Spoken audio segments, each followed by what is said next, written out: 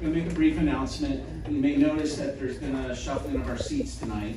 Mayor Sortal has taken a leave to attend to some personal matters.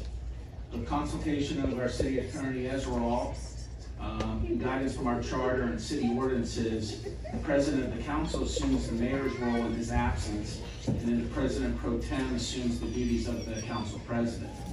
Um, the cooperation of the council, the department directors, and all the employees, we're proceeding with the business of the city.